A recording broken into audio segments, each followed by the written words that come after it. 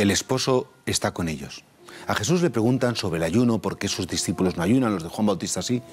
Bueno, y cuando va a contestar, dice que pueden ayunar cuando el esposo está con ellos. Y esto es muy bonito porque, en definitiva, lo que Jesucristo viene a decir es que la relación que Dios quiere tener con el hombre es una relación esponsalicia. Es decir, es la relación que el amado tiene con la amada. El amado es Dios, la amada es el alma humana. Y claro, entonces rompemos completamente con el molde del Dios creador frío, del Dios calculador, del Dios que castiga, que mide con una vara de medir si he cumplido bien la ley, el Dios, el Dios que me quiere como un enamorado quiere a su amada. Claro, esto, esto es bien bonito y esto lo entendieron muy bien los santos, los místicos, que, que claro que ellos cuentan cómo el alma humana pues se funde con el amado. Una gran tentación es pensar que, los místicos son dentro de la iglesia como una especie de élite, de categoría mm, selecta, que necesitan muchas horas de cilicios, de disciplinas, de, ayunos para llegar a ese estado sublime de, de esponsalicio. No. Místico puede ser cualquier bautizado.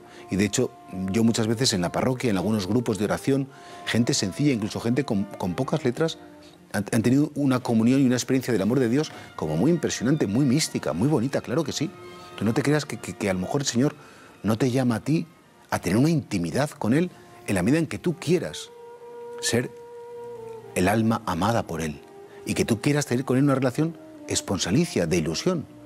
¿Por qué no decir, Dios mío, cómo me gustaría pasar de una religión del cumplimiento, de una religión fría, de una religión que pueda ser a veces incluso un poco pesada, a una religión de la ternura, a una religión del cariño, a una religión de la delicadeza con aquel que me ha amado eternamente, con aquel que ha muerto por mí y que ha resucitado por mí. Entonces, esta frase es como para que nos volvamos a preguntar, ¿cómo es mi trato con Dios? ¿Es el trato del amante con el amado?